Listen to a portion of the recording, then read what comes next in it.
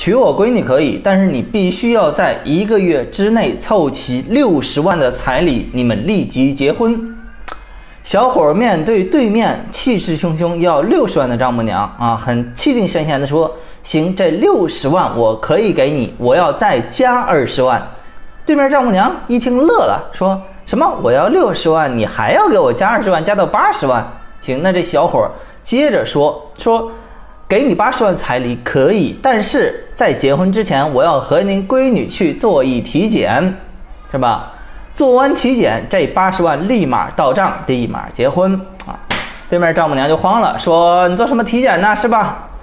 呃，在那个我们那个年代，就是我和你叔叔结婚的那个年代，是吧？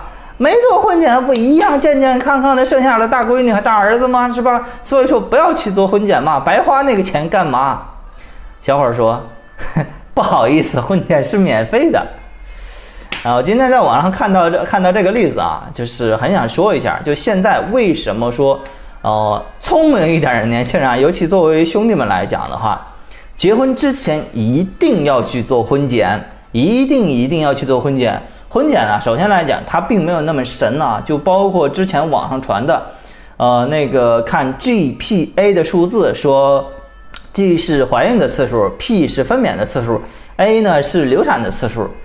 呃，这个的询问，我在网上认认真真的搜了一下，我才发现这个全是通过医生口头去询问女女方问出来的啊。但是你像现在的这个婚检项目的话，你看，呃，第一，法定的传染病，这是我头一次听说啊，包括像。艾滋病啊、淋病啊、梅梅毒啊、乙肝呐，就是这些啊，完全有可能传染性，就是比如说可能可能传染给你，也可能传染给下一代的这些疾病。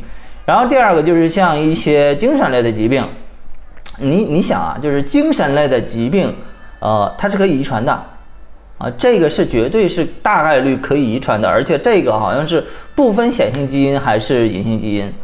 然后第三种的话，就是和生殖相关的一些东西了啊，就是包括说白了，男的能不能生孩子，女的能不能生孩子，这些检查的话，其实就是为你们以后是吧生孩子管用的。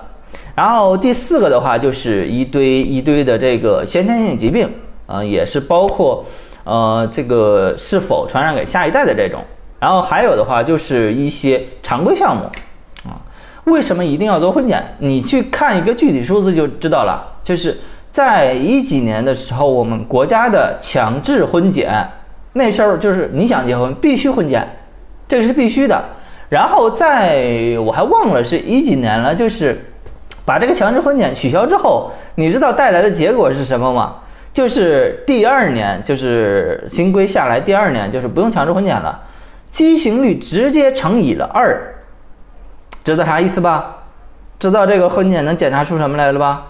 别的我不知道啊。那个我老家的时候，就是我还真知道有这么一例，就是什么呀？他们两个人应该是没有婚检的啊。现在的话，应该两口子在呃三四十岁的那种了，两口子没婚检，然后生出来一个就是血液上有一些疾病的东西啊，有一种这样这样的疾病，还是儿子。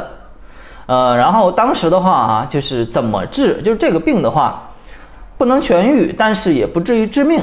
所以说后来两口子就想着，就是，呃，遗传下一代嘛，你基因怎么着也得想健康的遗传下去，是吧？但是啊，两口子这时候也长个心眼儿啊，去医院去检查的时候，医生告诉他，不管你们怎么生，只要是你俩生孩子，都会有这个疾病。这个我感觉就应该是和那个中学的时候学的那个，呃，遗传学是吧？隐形基因、显性基因那个，你就是你俩相逢必有一伤的这种感觉。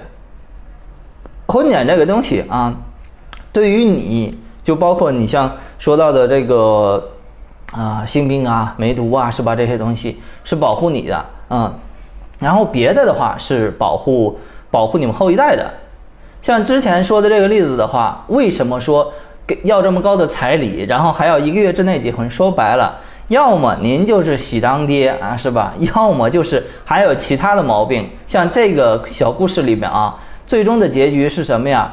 女方原来有一个儿子，嗯，被姥姥姥爷养着呢，然后着着着急忙慌的把闺女赶紧嫁出去，就是把这事儿给压下来啊。所以说，当你啊遇到一个首先来讲不愿意跟你婚检的对象、结婚对象的时候，第一这就是有问题的。